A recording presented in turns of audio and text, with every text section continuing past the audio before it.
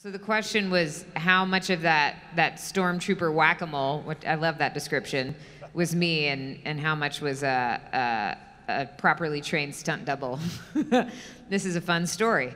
Um, so I, so we're we're basically doing like a feature on a TV schedule, which uh, I learned means that. Uh, even if you want to do your own fights, um, Not gonna happen. it's not gonna happen. So um, I got the script for that episode like two weeks before we were gonna shoot it, and I I approached Ryan, who was our Emmy award-winning uh, stunt coordinator, and I was like, Ryan, I you know what do I need to do? I wanna I would love to be able to do this fight. I'm willing to train, you know, however much. And he kind of pat me on the back and he said, Oh, that's so cute.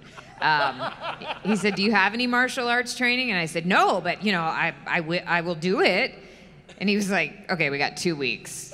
Um, he said, Well, great. If you would like to train for the next two weeks, you know, maybe we could use you for some transitions. But um, I'm sorry, there's just no way that you could pick up everything you need to pick up to do this fight, you know, what we have in mind. So I was like, Okay, well, I'm going to do it.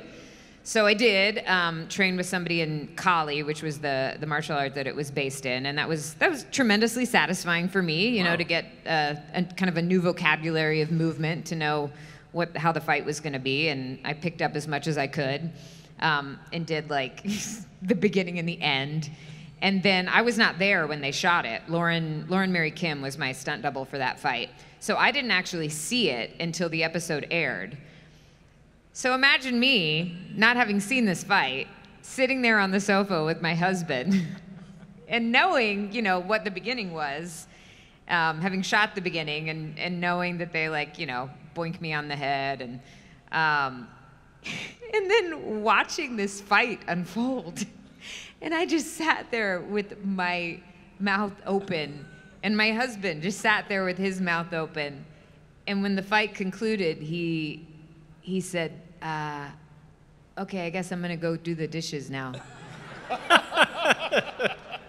and I said, "Oh, okay, yeah, I get it. Now I understand. You know, if I had tried, to, you would have seen me work really, really hard." And you would have said, wow, she is trying so hard. She's trying real hard, but it would not have looked like that. So I have to give credit where credit is due. And they did that fight. They did, it was all one take every single time they shot it.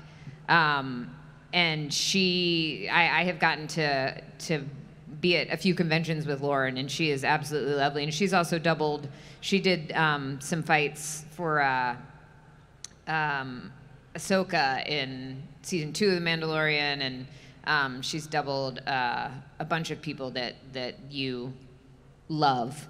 Um, she's tremendously talented, and my I bow down to her because she made the armorer look like a badass. So, so I I like to, and, and when you're on a feature. Um, you tend to have like months and months that you can prepare and train, and so you can you have more of a chance to do the fights, but you just don't have this, the time when you're shooting TV. But um, I do when I can. I like to at least you know learn the sequence. Um, and in Boba, I did like learn that whole training sequence and got to run it and shoot some of it. And then there was also a stunt double who. Um, who shot it because it was like up they were shooting it up high on this catwalk and they didn't want me to fall off and hurt myself and then delay shooting so there's all sorts of reasons why but it's great as an actor when you get to learn it and because it's all it's all vocabulary for your character you know? It's it's um, it's another language it's a language of the movement. So it, it gives you information for how your character exists in the world and it's just fun